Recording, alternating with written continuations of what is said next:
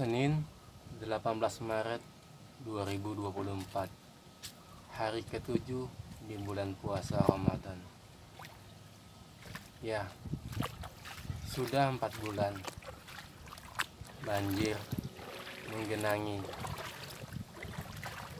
Belum ada tanda-tanda bakal surut. Seolah-olah Allah sedang memainkan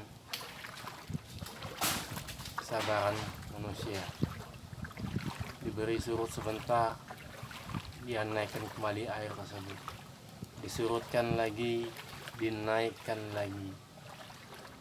Seolah-olah dia ingin tahu sebatas mana kesabaran manusia sebatas mana kesabaran umatnya dalam menghadapi ujian. Entah itu mungkin azab yang ia berikan kita tidak pernah tahu apa di balik hikmah banjir yang hampir empat bulan menggenangan ini. Saya rasa mungkin yang lebih parah dari ini ada yang menangis, apalagi bulan Ramadan.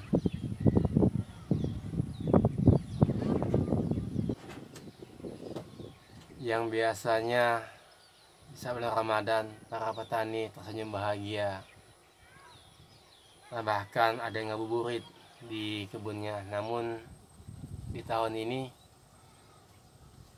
hanya bisa mengelus dada. Hanya bisa menahan benar-benar kesabaran.